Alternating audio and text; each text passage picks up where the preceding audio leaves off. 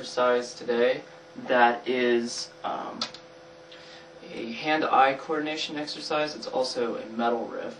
But before you uh, stop watching this video, in case that you are not so fond of metal, uh, the one I'm going to show you is rather gnarly, and it's very minor, but I also constructed a major one for you as well.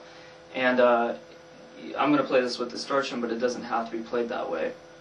It's an excellent exercise for anyone because especially when you start out slow and start picking up speed, it's really phenomenal for um, helping with coordination, of course, hand-eye coordination, but also it, it's one of those exercises that helps make the fretboard looks uh, a lot less alien to you. So we're going to go in for a close look and I'll show you how to play this guy.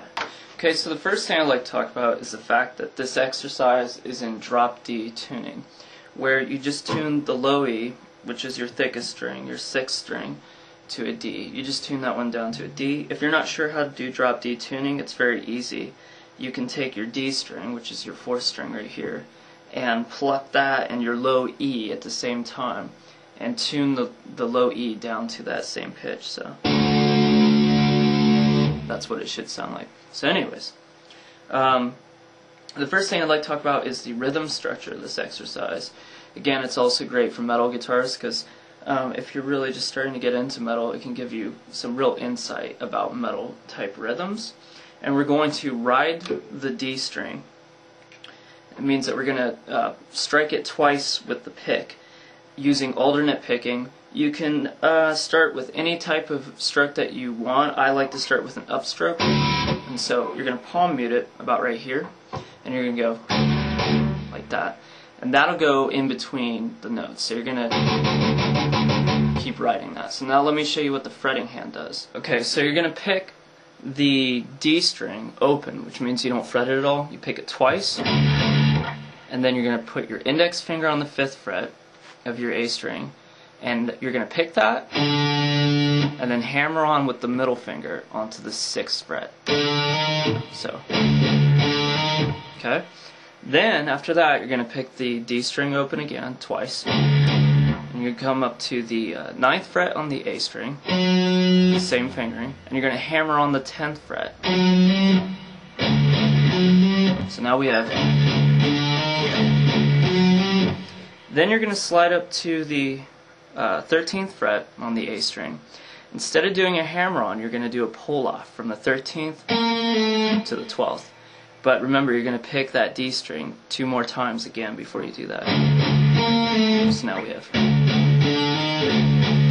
Oops. Then you're going to slide up to the 16th fret on the A string. You're going to pick the D again twice, and you're going to pick that 16th fret and then hammer on the 17th fret. So all together you now have.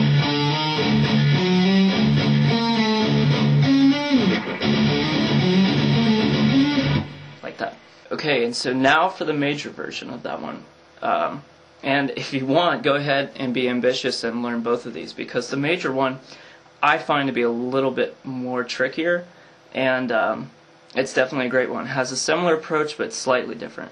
So again, we're going to ride the, the D string twice, come up to the 7th fret on the A with the index finger. You're going to pick that and hammer on the um, 9th fret with your ring finger. Okay, then to come up here to the 12th fret, I'm sorry, to the 9th fret, and you're going to hit the D twice again, and hit the 9th fret, and you're going to hammer on the 12th fret. You can use your pinky if you like. I like to use my ring finger, so.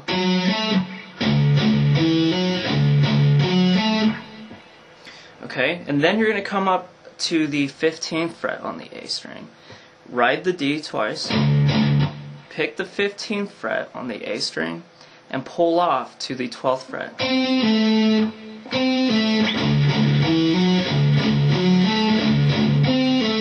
Okay, then you're, you're going to take your index finger and you're going to put it on the 15th fret of the A string. Pick the D twice again, pick the uh, 15th fret on the A string, and then hammer on with your middle finger onto the 17th fret. So.